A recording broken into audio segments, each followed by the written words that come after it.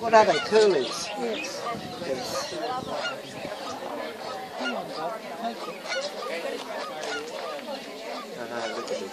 That's right, yeah. So, as I said, you can't tell the difference between and female. But I know these two